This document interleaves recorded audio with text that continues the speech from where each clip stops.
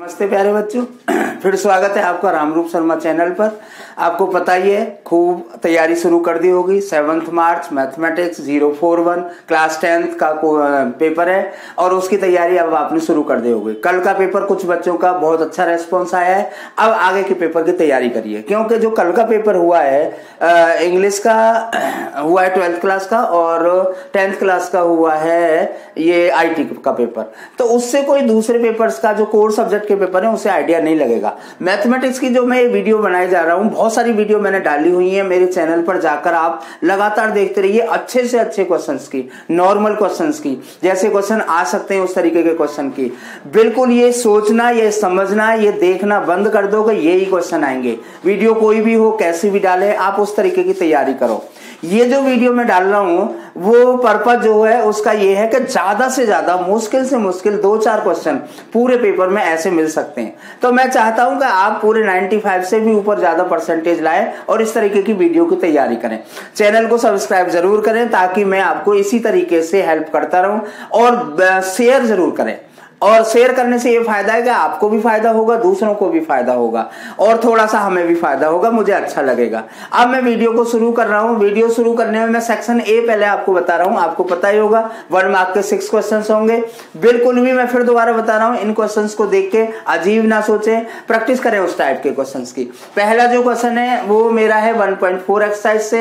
एक wrestle number है और वो रेसल नंबर इस तरीके से लिखा हुआ है। तो आपको बताना है कि उसका जो डिनोमिनेटर है वो किस फॉर्म में होगा?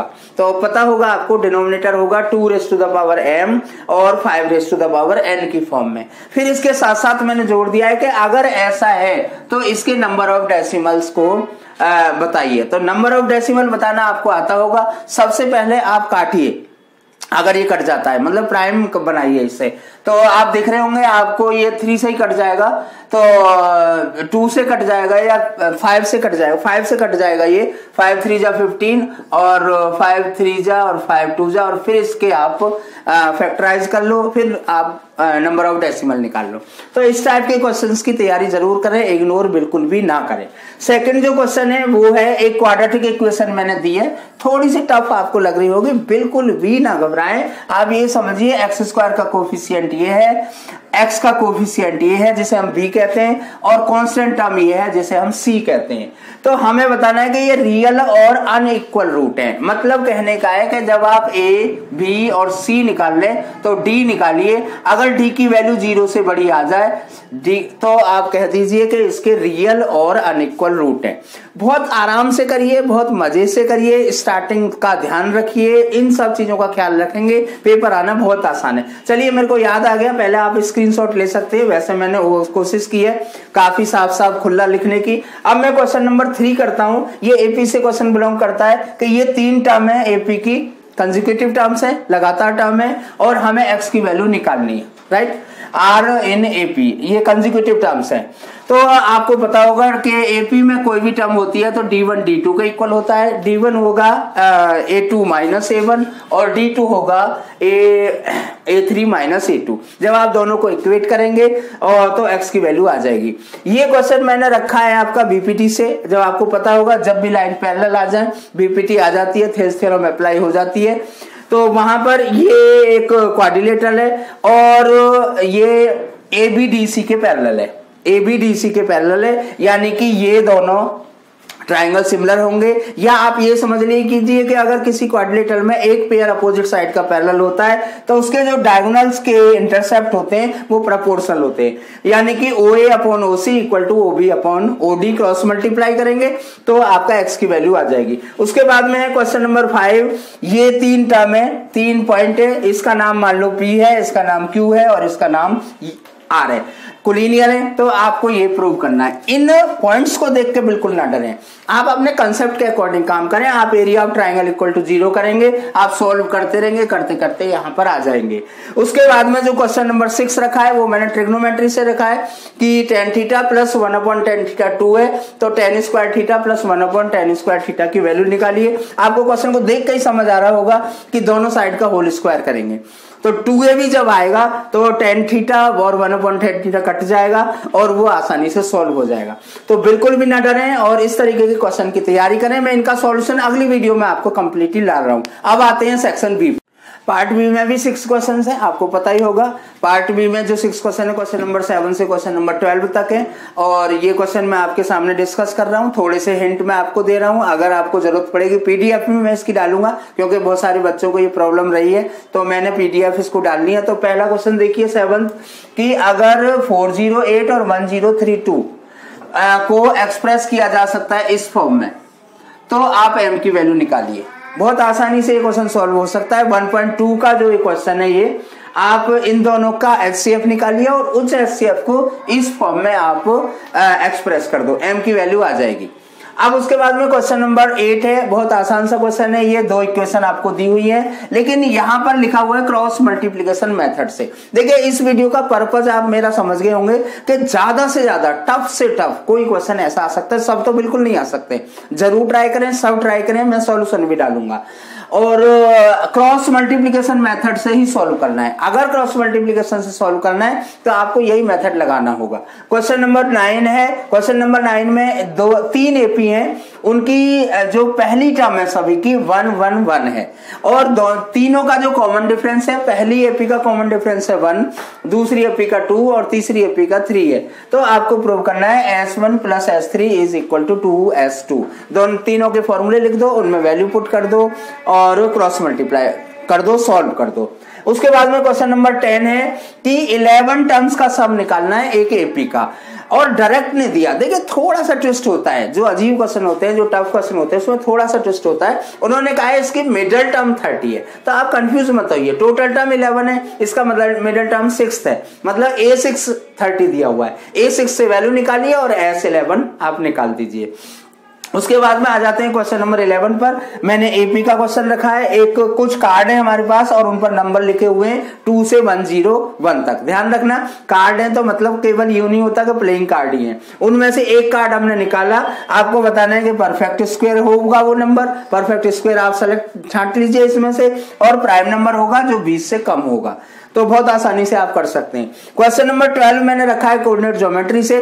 कोऑर्डिनेट ज्योमेट्री में है कि एक पॉइंट है पी और उसका एक्स कोऑर्डिनेट वाई कोऑर्डिनेट से दुगना है। मतलब एक्स कोऑर्डिनेट को अगर आप के मानते हैं तो वाई कोऑर्डिनेट हो जाएगा वाई कोऑर्डिनेट को के मानते हैं सॉरी तो एक्स कोऑर्डिनेट हो जाएगा टू के और फिर आप इसमें वो कॉन्सेप्ट लगा दो कि अगर ये पॉइंट पी था तो P Q is equal to P R solve करेंगे, आपको आसानी से पी के कोऑर्डिनेट आ जाएँगे। अब सेक्शन सी पर आते हैं।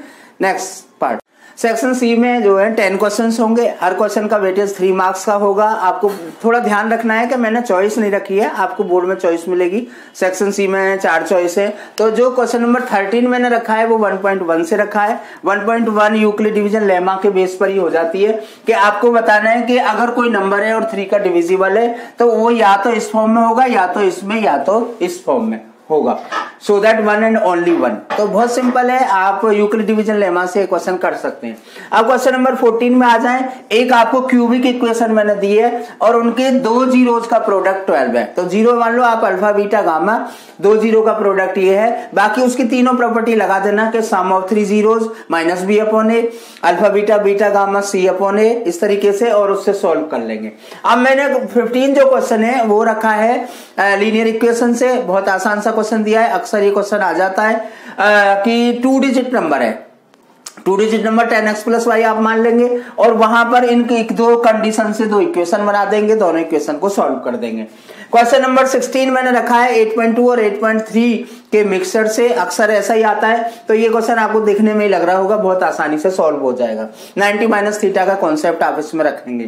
क्वेश्चन नंबर 17 जो है, ये प्रूव करना है कि ये मैंने चैप्टर सिक्स से रखा है कि इक्विलेटर ट्राइंगल जो होता है, किसी स्क्वेयर कि एक साइड पर बना हुआ इक्विलेटर ट्राइंगल का एरिया हाफ़ होता है, उसके डायगोनल पर बने हुए इक्विलेटर ट्राइंगल के एरिया के एनसीआरटी की बुक का क्वेश्चन है। क्वेश्चन नंबर 18 मैंने रखा है कि ये E F D E F mid point हैं किसी ट्राइंगल के।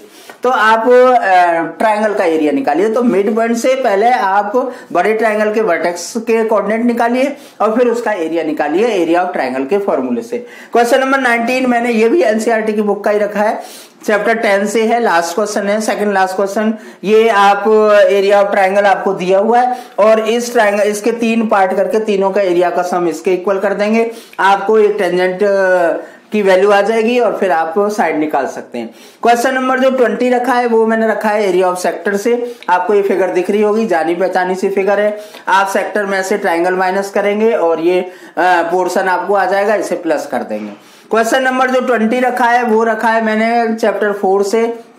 क्वाड्रेटिक इक्वेशन से आपने क्वेश्चन किया हुआ होगा कि एक पाइप है, उसमें जो है आपका जो पानी का फ्लो है वो सेवन मीटर पर सेकेंड है। आपको याद रखना है कि अगर रेट दिया हुआ हो तो उसको टाइम से मल्टीप्लाई कर देते हैं तो उसकी हाइट बन जाती है। तो पाई आर स्क्वायर एच को पाई आर स्क्वायर एच के इक्वल कर देंगे। क्वेश्चन नंबर जो मैंने ट्वेंटी रखा है, वो बहुत सिंपल रखा है। ये एक आपको टेबल दिया हुआ है ऑब्जर्वेशन का। उसमें एक्स और वाई की वैल्यू निकालनी है। मीडियन दिया हुआ है। मीडियन दिया हुआ है, इसका मतलब मीडियन नहीं आपको निकालना है। तो ये है सेक्शन सी इस तरीके के क्वेश्चन की ट्राई ज़रूर करें। अब हम आते हैं सेक्शन डी पर। अब ये है सेक्शन डी स्क्रीनशॉट आप पहले अच्छे से ले लीजिए। देखिए, थोड़े से क्वेश्चन को मैंने ऊपर रखा है। मैं चाहता हूँ आप इस तरीके के लेवल की तैयारी करके जाएँ। तो आपके ज़्यादा मार्क्स आए। मैं नहीं आपको रोकना चाहता थर्टी फोर्टी पर ही। तो क्वेश्चन नंबर ट्वेंटी थ्री जो है, मैंने एट पॉइंट फोर से लिया है। यहाँ पर one plus sine square theta three sine theta cos theta के इक्वल है। तो आपको बताना है कि टेन थीटा की या तो वैल्यू वन है या वन बाई टू है। मैं थोड़ा सा इंट अभी दिए देता हूँ। सबसे पहले इसे साइन थीटा कॉस थीटा से कॉस थीटा से डिवाइड करते चले जाओ। मैं आपको लाना है एक्चुअली टेन थीटा लाना है। तो टेन थीटा लाना है तो इसे कॉस थीटा से डिवाइड कर दो। तो टेन थीटा में आ जाएगा क्वाड्रेटिक इक्वेशन बन जाएगी। क्वेश्चन नंबर ट्वेंटी फोर जो है, वो मैंने एपी से रखा है कि किसी एपी की एम टर्म्स का जो सम है, उस एपी की एन टर्म्स के सम के इक्वल है। जब आप इन दोनों को इक्वल करेंगे तो आपको एक रिलेशन मिल जाएगा। तो फिर आप एस एम प्लस वन निकालेंगे तो उसकी वैल्यू पुट करेंगे ज़ीरो सम आ जाएगा। उसके बाद में जो 25 क्वेश्चन है, वो मैंने डायरेक्टली वैसे ही दे दिया है कि या तो आप बीपीटी थ्योरम करिए, या तो आप ये थ्योरम करिए। मैं तो चाहता हूँ आप चारों थ्योरम तैयार कर लो। उसके बाद में 26 जो क्वेश्चन है, वो सिंपल दिया मैंने ओगिव बनाने के लिए, दोनों टाइप के ओगिव ये ऑब्जर्वेशन दिए हुए हैं। क्वेश्चन नंबर 27 में मैंने हाइट एंड डिस्टेंस मतलब एप्लीकेशन ऑफ़ टेक्नोमेट्री यानी कि चैप्टर 9 से क्वेश्चन दिया है कि एक क्लाउड है। उस क्लाउड को अगर हम सी लेवल के 60 मीटर ऊपर से देखें तो उसका जो एंगल ऑफ़ एलिवेशन है, वो 30 डिग्री है। अगर हम उसके रिफ्लेक्शन को देखें तो angle of angle of depression 60 degree है। तो आपको क्लाउड की हाइट निकालनी है। मेरा ख्याल है आप कर चुके होंगे ये क्वेश्चन नहीं तो मैं आपको नेक्स्ट वीडियो में इसका आंसर दे दूँगा। वैसे इसकी वीडियो हाँ मेरी ऑलरेडी पड़ी हुई है। आप एप्लीकेशन ऑफ़ ट्रिग्नोमेट्री से सर्च करेंगे तो क्लाउड वाले क्वेश्चन की वीडियो बहुत अच्छे तरीके से मैंने बनाई हुई है। उसके बाद में ट्वेंटी क्वेश्चन है, जैसे मैं आपको पहले ही बताते चला रहा हूँ फ्रस्टम का क्वेश्चन आएगा ही आएगा। यहाँ पर मैंने थोड़ा सा उसे बढ़ा दिया है कि ऊपर फ्रस्टम का पार्ट दे दिया है और नीचे सिलेंड्रिकल पार्ट दे दिया है। तो उसका वॉल्यूम भी निकालना है और टिन रिक्वायर्ड भी निकालनी है। तो वॉल्यूम का फॉर्मूला आप जानते होंगे। इसका वॉल्यूम और इसका वॉल्यूम दोनों का अलग अलग निकालेंगे, दोनों को प्लस करेंगे, सारी डायमेंशन आपके पास है। एल नहीं है तो एल आप निकाल लेंगे। उसके बाद में ट्वेंटी नाइन क्वेश्चन जो रखा है, वो मैंने रखा है पाइथागोरस थ्योरम के बेस पर।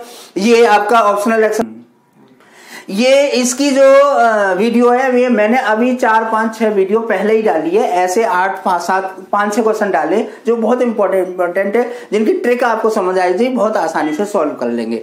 लास्ट जो क्वेश्चन है, वो रखा है मैंने आपको चैप्टर थ्री से, कि एक बोट है। अब बोट का आप क्वेश्चन करना आता होगा, कि आप बोट की स्पीड एक्स मान लो स्ट्रीम की स्पीड वाई मान लो डाउन में एक्स प्लस वाई हो जाती है आप में एक्स माइनस वाई हो जाती है। थर्टी किलोमीटर अप में जाने पर और थर्टी सिक्स किलोमीटर डाउन में जाने पर टोटल टाइम लगता है सेवन आवर्स। तो एक इक्वेशन बन जाएगी thirty two upon X plus Y. Plus thirty two upon X minus Y plus thirty six upon X plus Y इस तरीके से दो इक्वेशन को आप सोल्व कर लेंगे। तो ये मैंने सेक्शन डी डाला है। आप इसे अच्छे से बैठ कर तीन घंटे में करने की कोशिश करें और जो जो प्रॉब्लम हो उन्हें आप देखें। इस वीडियो से बिल्कुल भी यू ना डरे कि ये बहुत डिफ़िकल्ट है। मैंने लेवल थोड़ा बढ़ाया है, क्योंकि मैं चाहता हूँ कि जब बच्चे इतने तैयार हो गए चालीस पचास नंबर के लिए तो क्यों ना वो सत्तर प्लस नंबर के लिए तैयार हो।